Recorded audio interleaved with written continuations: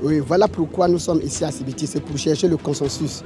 Et je crois qu'à l'issue de ces présentes assises, le consensus se dégagera pour que le Congo devienne un et indivisible. Et je crois que l'unité, la paix, ce sont des gages très importants pour notre pays. Et ceci veut dire que c'est pourquoi le dialogue devrait se tenir, pour que toutes les composantes soient là, pour que notre pays aille de l'avant. Très très important pour la cohésion nationale, pour l'unité du pays et pour l'atmosphère de paix qui, est là, qui, qui existe et qu'il faut que chacun puisse entretenir euh, dans l'intérêt de tous.